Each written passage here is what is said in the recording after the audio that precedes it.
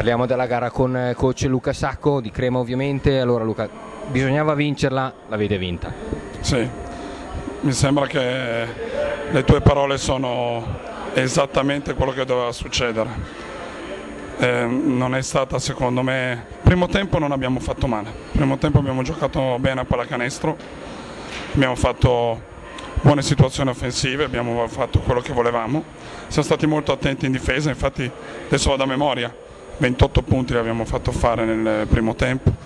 Secondo tempo un po' di paura di vincere, anche se uno dice a più 15 come si fa ad avere paura di vincere. Loro che hanno messo pressione, loro hanno giocato con ardore agonistico. Noi guardavamo il tempo e diciamo dai, finita, è finita, cioè in realtà non si voleva giocare, si voleva solo portare a casa due punti. E questo è stato pericoloso da un certo punto di vista, però non abbiamo mai rischiato, sono contento di questo. Oggi ehm, questa vittoria conta soprattutto per ridare fiducia e morale a tutti, all'ambiente, perché purtroppo quando le cose non vanno bene, eh, anche il bicchiere che invece di plastica lo volevo a fiori, anche quello dà fastidio Sicuramente per quel che riguarda la partita di stasera, buone percentuali di realizzazione e anche buona la difesa, tanta grinta, ne avete messo probabilmente molto di più di, degli avversari e lì è stata la chiave della vittoria o dove secondo te? Sì, beh, questo sì, ma i ragazzi sono stati fantastici. I ragazzi me l'avevano un po' promessa, infatti nello spogliatoio mi hanno detto ci devi un panettone, perché la battuta era pertinente direi.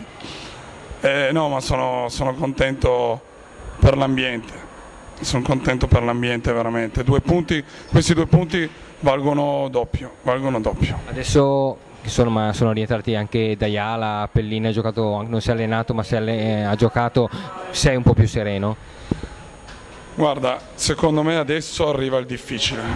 Ti spiego, noi dobbiamo eh, rifare tutto da capo, dobbiamo allenarci insieme, cosa che non abbiamo mai fatto in quattro mesi. Dobbiamo buttare nelle rotazioni i ragazzi che prima giocavano 30-35, adesso dovranno giocare 20. Coloro che non giocavano devono entrare in un complesso di gioco dove la difficoltà è capire che bisogna fare qualcosa per il compagno, non per se stesso. E quindi le vacanze per noi saranno fondamentali perché dobbiamo giocare insieme, lavorare insieme.